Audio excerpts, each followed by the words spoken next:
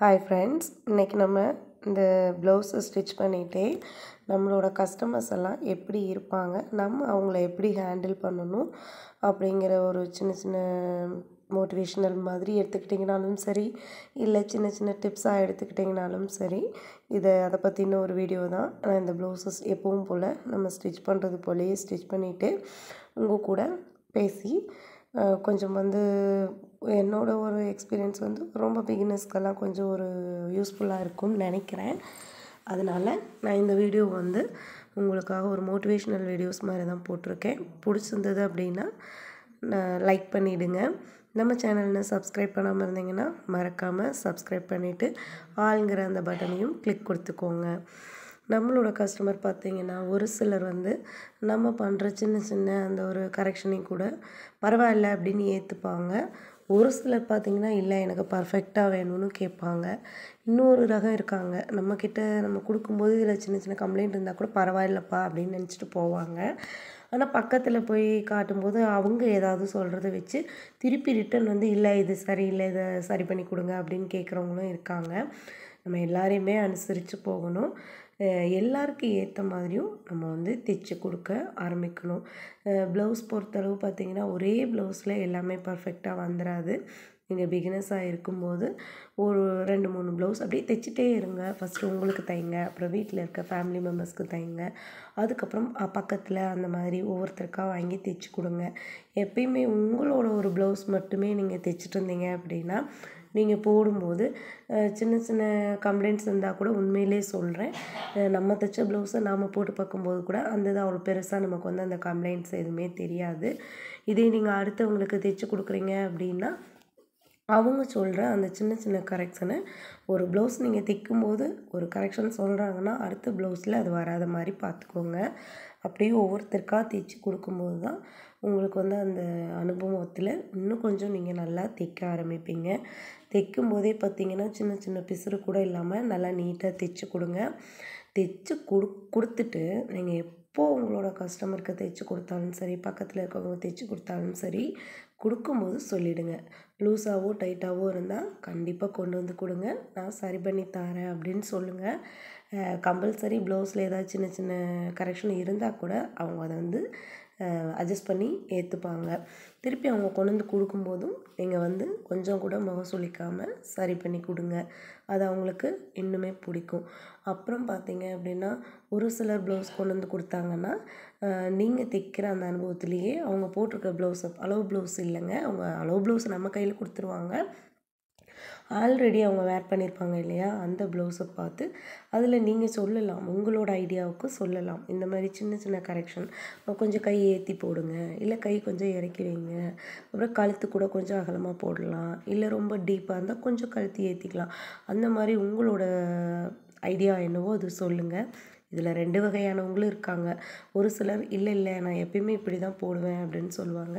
ஒரு சிலர் சரி டெய்லர் சொல்கிறாங்க நம்ம கொஞ்சம் சேஞ்ச் பண்ணி பார்ப்போம் அப்படின்னு சொல்கிறவங்களும் இருக்காங்க. ரெண்டையுமே நம்மளும் ஏற்றுக்கணும் அதுதான் மெயின் விஷயம். நம்ம சொன்னோம் அவங்க செய்யலை அப்படின்னு நம்ம வந்து அப்செட் ஆகிடக்கூடாது அதே சமயம் ஒருத்தர் அளவு ப்ளவுஸ் கொடுக்குறாங்க அப்படின்னா அது சுருங்கி இருக்கும். கொஞ்சம் அவங்களுக்கு லூஸாகவும் இருந்திருக்கும்.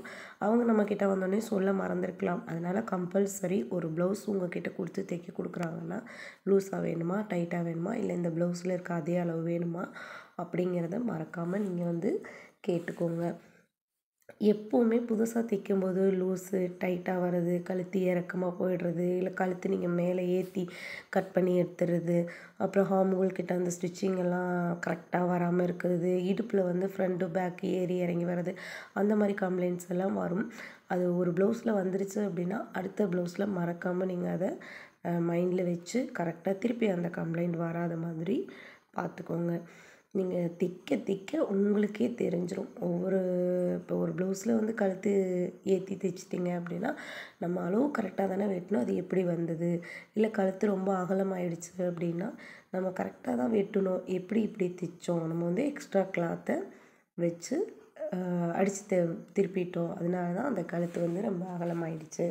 அப்படிங்கிறதெல்லாம் உங்களுக்கு தைக்க தைக்கவே நீங்கள் ஒவ்வொருத்தராக சொல்ல ஒவ்வொருத்தர் வந்து ஒவ்வொரு கரெக்ஷன் சொல்லும்போது நம்ம ஏன் அதை செஞ்சுருக்கோம் அப்படிங்கிறத யோசிச்சுட்டு அடுத்த ப்ளவுஸ் ஸ்டிச் பண்ணும்போது நீங்கள் அதை மைண்டில் வச்சுக்கிட்டிங்கன்னா அந்த கம்ப்ளைண்ட் வந்து கம்பல்சரி வராது. அப்புறம் வந்து டிசைன் ப்ளவுஸ்லாம் தைக்கும்போது ஃபஸ்ட்டு ஒரு டிசைன் நீங்கள் தைக்க போகிறீங்க அப்படின்னா எடுத்த உடனே மிஷின் உட்காந்துட்டு நீங்கள் இந்த டிசைன் தைக்கலாமா அந்த டிசைன் தைக்கலாமான்னு யோசிக்காதீங்க. ஒன்ஸ் நீங்கள் ஒரு ப்ளவுஸ் எடுத்திருக்கீங்க அப்படின்னா நீங்கள் ஃபுல் போர்ஷன் கட் பண்ணி எடுத்துருவீங்க. நெக்கு மட்டும் அப்படியே வச்சு லைனிங் ப்ளவுஸ்லாம் நம்ம அப்படியே வச்சு தான் நீங்கள் டிசைன் யோசிக்க போகிறீங்க அப்படின்னா நீங்கள் வந்து தைக்கிறதுக்கு முன்னாடியே இந்த ப்ளவுஸ் இப்படி தைக்கலாம் இந்த நெக் வச்சு தைக்கலாம் இந்த மாதிரி கிளாத் எக்ஸ்ட்ரா கொடுக்கலாம்.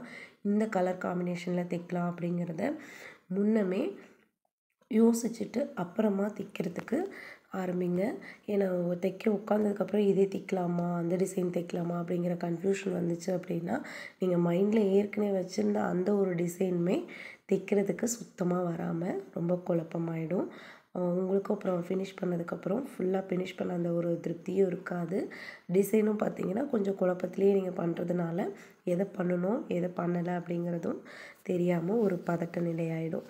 அதனால நீங்கள் வந்து ஃபுல் அண்ட் ஃபுல் யோசிச்சுட்டு இந்த டிசைன் தான் நம்ம வைக்க போகிறோம் இந்த அளவு தான் நம்ம தைக்க போகிறோம் அப்படிங்கிறத முடிவு பண்ணிவிட்டு அது டிசைனுக்குன்னு இல்லை பைப்பிங்காக இருக்கட்டும் நெக் அடித்து திருப்புறதா இருக்கட்டும் அது முதற்கொண்டு நீங்கள் முன்னமே இப்படி செஞ்சால் இது கரெக்டாக இருக்கும் அப்படிங்கிறத பிளான் பண்ணிவிட்டு அப்புறமா தே தைக்க ஆரம்பிங்க.